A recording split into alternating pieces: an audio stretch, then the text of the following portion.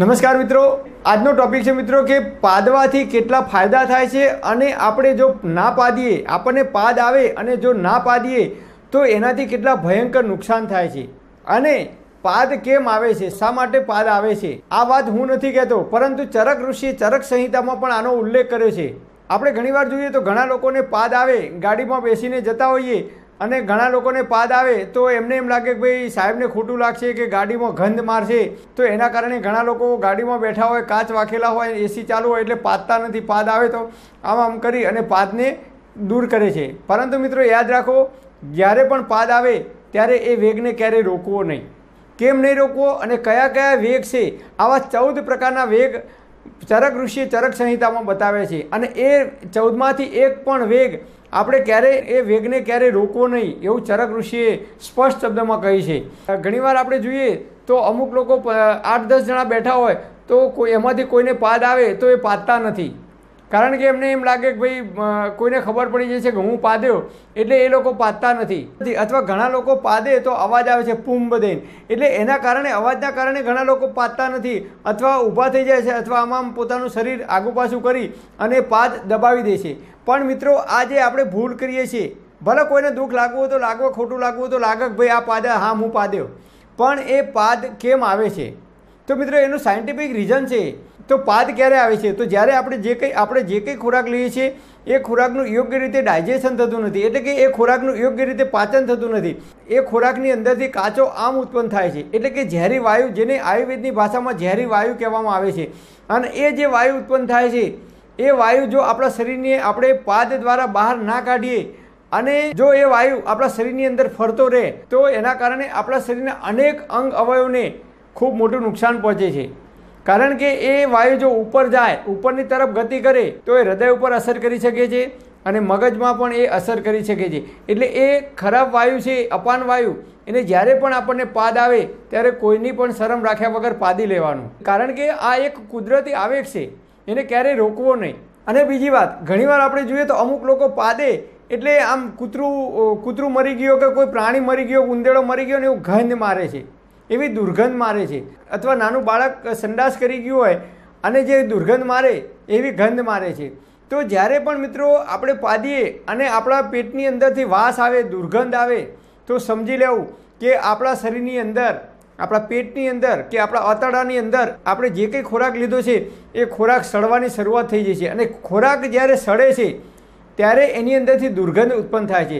જે રીતે આપણા ઘરની અંદર ડસ્ટબિન હોય, તો આપણે ડસ્ટબિનની અંદર કચરો નાખીએ અને કચરો લેવાવાળો જો ત્રણ ચાર દિવસ સુધી ના આવે, તો એની અંદર એ કચરો પડે પડે સડવા લાગે છે અને એ કચરાની અંદરથી ભયંકર દુર્ગંધ ઉત્પન્ન થાય છે. અને એના પરિણામે એની અંદર ઝીણા ઝીણા જીવાણુ પેદા થાય છે, કીડા પણ પડે છે, એટલે કે એની અંદર જીવાત પડે છે. બસ એ જ રીતે જો આપણા શરીરની અંદર જ્યારે પણ દુર્ગંધ મારે, આપણે પાદીએ અને દુર્ગંધ મારે તો સમજી લેવું કે આપણા શરીરની અંદર ખોરાકનું યોગ્ય રીતે પાચન થયું નથી અને એમાંથી એ ખોરાક સડવા લાગ્યો છે અને એની અંદરથી દુર્ગંધ આવે છે. અથવા આપણા મોટા આંતરડામાં જે મળ છે, એ મળ પૂરેપૂરો બહાર આવ્યો નથી અને એના કારણે એની અંદરથી વાયુ ઉત્પન્ન થાય છે. આ બીમારી લાંબા સમય સુધી ચાલે તો સમજી લેવું કે આપણને કોઈ પણ ભયંકર બીમારી થઈ શકે છે. આંતરડાનું કેન્સર પણ થઈ શકે છે. જ્યારે પણ આપણા પેટમાં યોગ્ય રીતે ડાયજેશન થતું નથી, શ્વાસોશ્વાસ કરીએ તો એની અંદર પણ દુર્ગંધ આવે છે. તમે જુઓ, અમુક માણસો સાથે આપણે વાતચીત કરતા હોય, એના શ્વાસોશ્વાસની અંદરથી દુર્ગંધ આવે છે.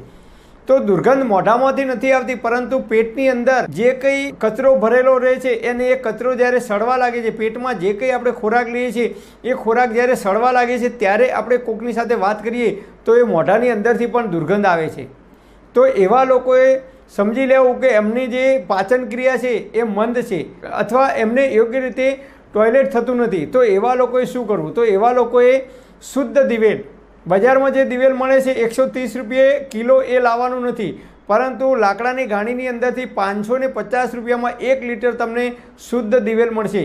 તો એ શુદ્ધ દિવેલ લાવી અને અડધી ચમચી અથવા એક ચમચી શુદ્ધ દિવેલ તમારે ચાની અંદર અથવા દૂધની અંદર અથવા ઉંભાળા પાણીની અંદર નાખી અને દિવેલ પી જવાનું. અને જે દિવસે તમારે દિવેલ પીવાનું હોય, એ દિવસે રાત્રે તમારે હળવો ખોરાક ખાવાનો. અને પછી રાત્રે તમારે અડધી ચમચી કે એક ચમચી દિવેલ પી અને સૂઈ જવાનું. જો ઓરિજિનલ દિવેલ હશે, તો તરત જ એની અસર કરશે. અને બજારમાંથી એકસો ત્રીસ રૂપિયા કે એકસો ચાલીસ રૂપિયા લાવેલું ડુપ્લિકેટ દિવેલ હશે. તો તમે ત્રણ ચમચી પી જશો તો પણ કોઈ અસર નહીં કરે. કારણ કે એની અંદર કેમિકલ નાખેલું આવે છે. એટલે શુદ્ધ દિવેલ તમે જો પીશો તો બીજા દિવસે સવારે તમને પેટ સાફ થઈ જશે. મતલબ કે ત્રણ કે ચાર વખત તમને ઝાડા થઈ જશે.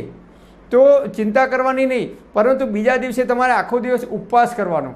ઉપવાસ કરવાનો મતલબ કે તમારે માત્ર ફળોનો જ્યુસ જ પીવાનો. અથવા ફ્રૂટ ખાવાના. પણ એની અંદર તમારે એક વાત ધ્યાન રાખવાની, બે ફળ એક સાથે ક્યારેય ખવાય નહીં. આયુર્વેદનો નિયમ છે કે બે ફળ ક્યારેય એક સાથે ખાવા નહીં. એટલે કે ખાટા ફળ અને મીઠા ફળ. એટલે કે સફરજન અને નારંગી, બે ફળ ક્યારેય એક સાથે ખવાય નહીં.